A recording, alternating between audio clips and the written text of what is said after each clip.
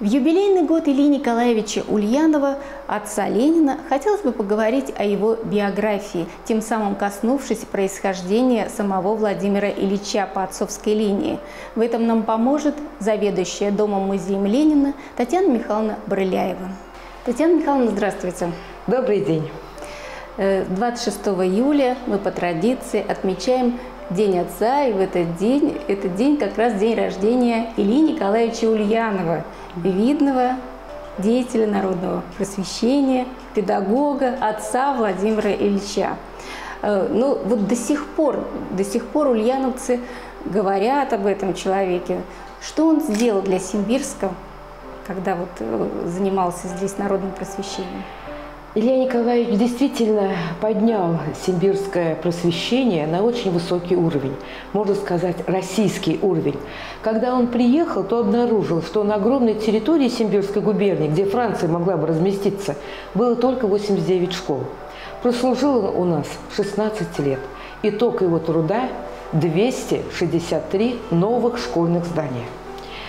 Цифра говорит сама за себе. Причем это были не просто построенные здания коробки, это были здания, уже насыщенные и ученической мебелью, специально для детей, удобной партами, и наглядными пособиями, и библиотеками.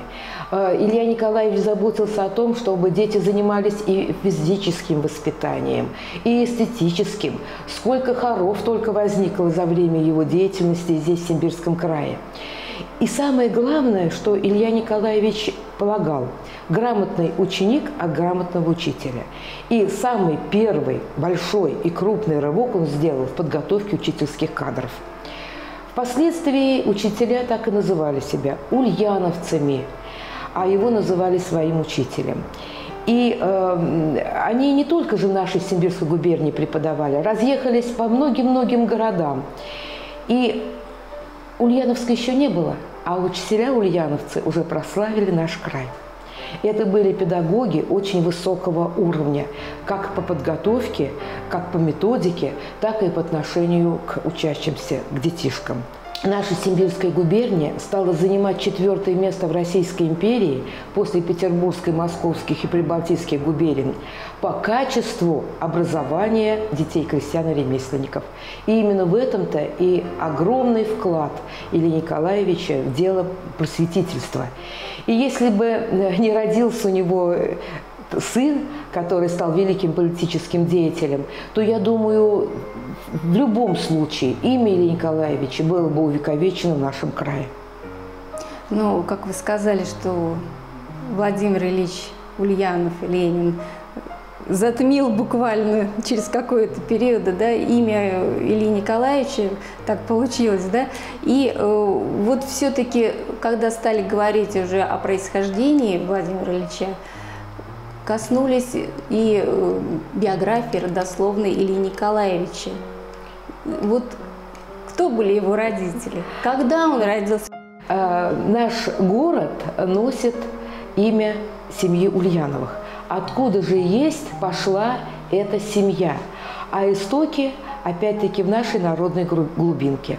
Когда-то э, давно уже, в XVIII веке, получается, отец Ильи Николаевича, э, Николая Васильевича, отпросился у своего помещика э, Брехова Михаила Степановича на оброчные работы.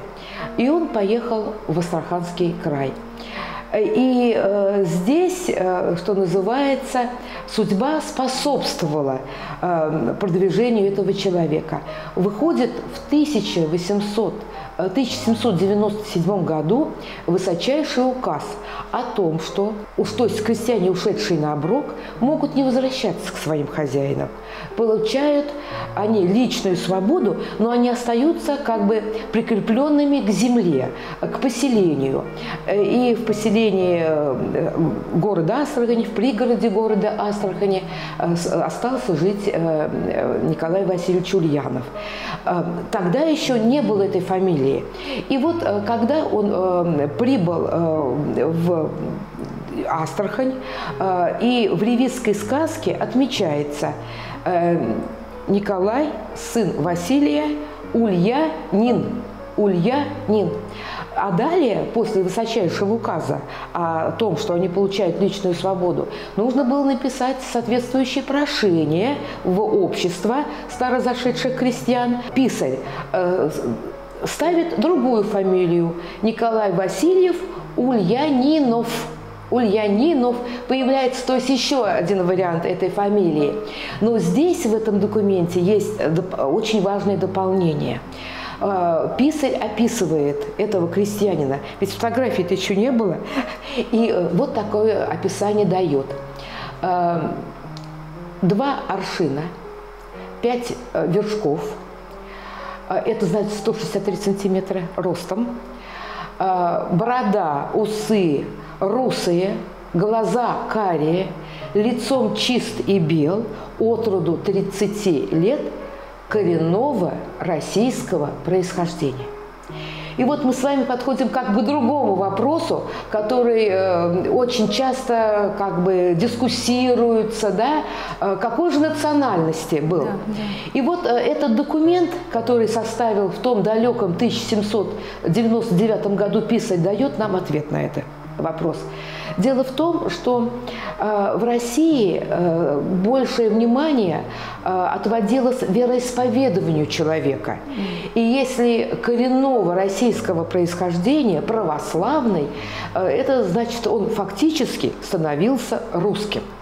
Но и по описанию внешности, русые волосы, лицом чист, бел, все говорит, опять же, о коренном российском происхождении.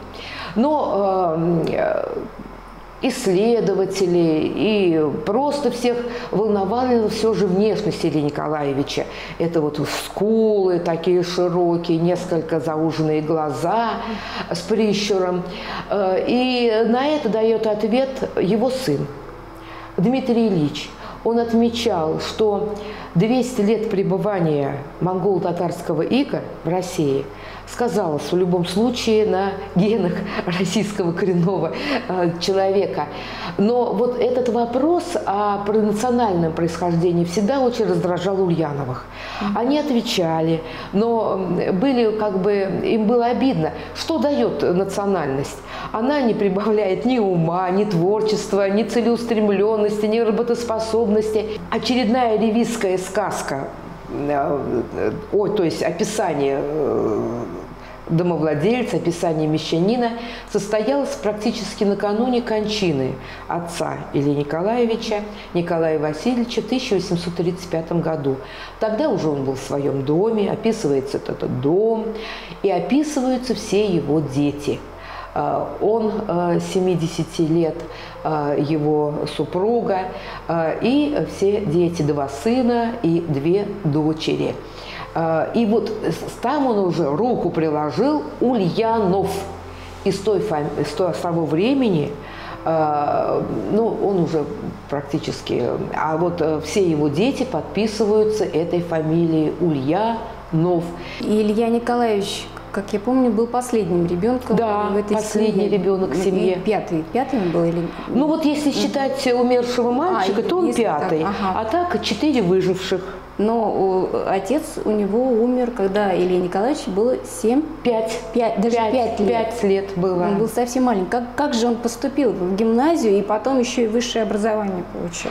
Вот действительно, да, вот это удивительно. Э, тот период э, развития России давал возможность такого социального лифта из третьего, низшего, податного сословия потомственные дворяне. И вот благодаря только целеустремленности, огромной работоспособности, таланту Илья Николаевич сумел э, да, пройти все ступени э, своего развития. Ну вот давайте по порядку. Значит, он, как выходец из э, мещанского сословия третьего податого, мог закончить только уездное училище. Начальный, да. да. Закончил блестяще отличал ли, вот когда мы говорим об Илье Николаевиче, часто говорим первый и лучший. И вот действительно, закончил с отличием. Это открыло ему дорогу образования, обучения в гимназии. Вот. Но платить надо было за образование да, да. и обучение в гимназии. И деньги-то немалые. Э, это где-то 38 э, рублей. Что значит 38 рублей для того времени, если пуд пшеницы стоил рубль 33 копейки? Понятно, да?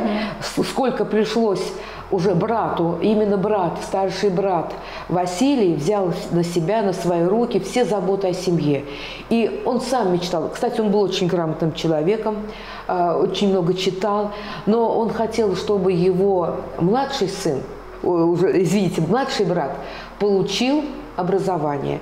И он делал все зависящее от него, именно в материальной поддержке, э, и э, давал все условия для того, чтобы Илюшенька учился. Ну вот мы говорили об учении в гимназии, а нужно было еще мальчика-то одеть, гимназический кафтан стоил 8 рублей и так далее, и так далее. А, нужно было и учебники приобретать, и, повторяю, все эти заботы о материальном обеспечении Ильи взял на себя Василий. И впоследствии Илья Николаевич, как часто рассказывал своим детям, об этом пишет Анна Ильинична, как он обязан своему старшему брату. А, и имя вот э, Василия в семье всегда почиталось, относилось к нему с уважением. В семье Ульяновых э, в гостиной комнате был альбом с фотографиями.